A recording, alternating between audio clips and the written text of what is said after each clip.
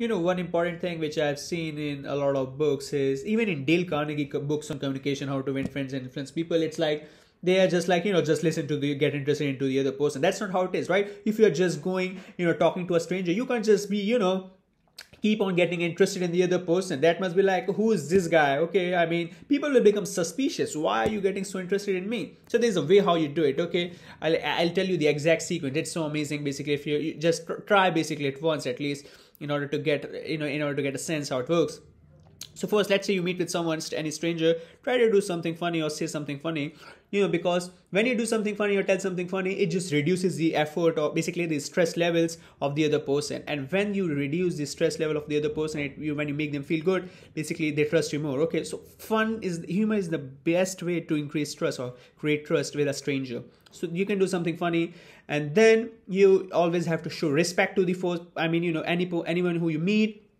and then when you met with them you know you have to create boundaries. You let's say if you meet with someone you know you're doing something funny you are respecting them you can't just ask them first time are you single? You can't ask that thing right? It's just like it's just crossing boundary. You you gradually increase boundary okay? So that's the third thing which you do create boundaries. You know there are certain boundaries which you have to you know maintain and then you get interested into the other person okay? And after you get interested into the other person you know you have you you want them to talk more about themselves.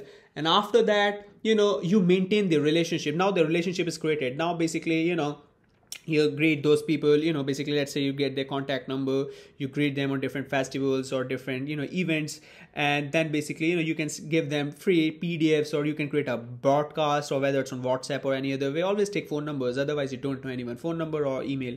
So basically it's like you know then you are maintaining that relationship and then after a certain point you know or then you can think you know you can discuss how you can advance the relationship to do something which is beneficial for all. Okay something then then it's about advancing so first you meet, you create trust, then you maintain it, then you advance it. That's the only way. Basically, I should say that that's the best way, not the only way, but that's the best way, you know, to create a relationship with someone. And that's the best proper way, I should say, a very proper way to communicate with someone rather than just getting interested with strangers.